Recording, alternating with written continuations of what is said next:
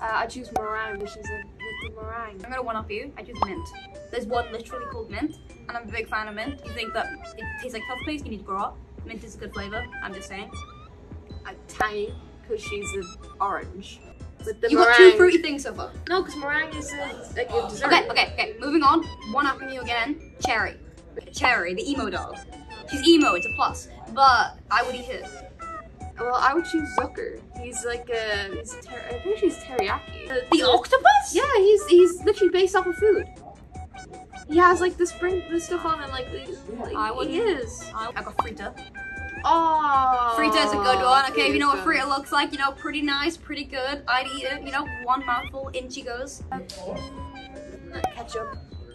I like tomatoes. I'm done No, here. she's a little I'm done here. I'm done here. I'm done No, here. no, what's your fourth one? I don't have another one. No.